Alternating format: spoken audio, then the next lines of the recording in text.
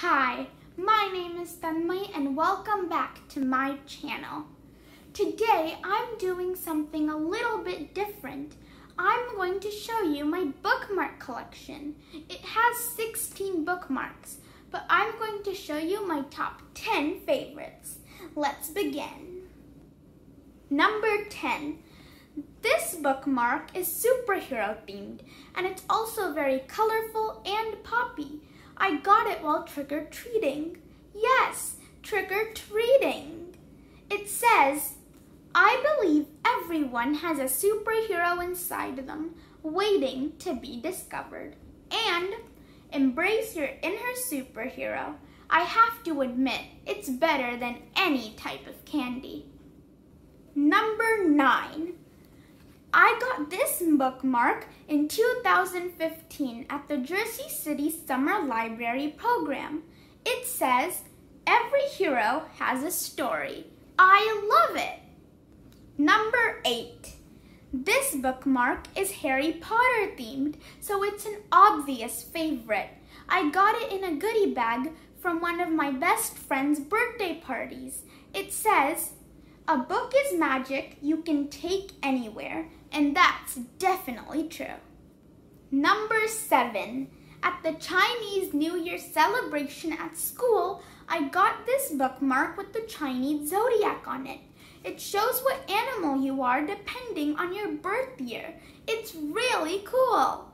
Number six, at the annual book fair at school, I got this bookmark that says, this book should be a movie, and I totally agree. Number five. Each year, my school takes pictures, and you can have your pictures printed on so many different items. I got mine printed, obviously, on bookmarks. This one is from the year 2018. Number four. This bookmark is also from school pictures, except it's from year 2019. Number three, another one from the Jersey City Public Library. This is from when their theme was galaxy and outer space. It says, a universe of stories, which is true because the universe is filled with books. Number two, you know encouragement Something your friends and family give you? Well, my bookmark gives it to me too. These are encouragements. They say stuff like, you're awesome, you can and you will. Everything will be okay. You got this and today is your day. Isn't that cool? Number one, time for my favorite bookmark. I got this bookmark from a friend and classmate who was moving away. There is an adorable key attached to it.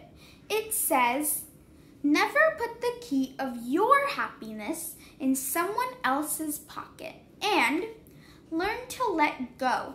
That is the key to happiness. I love it.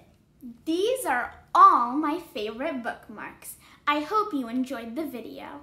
Please remember to share, like, and subscribe to my channel. Also, click the notification bell, ding, to get notifications on all my new videos. I'm Tanmayee Hingmire, signing off.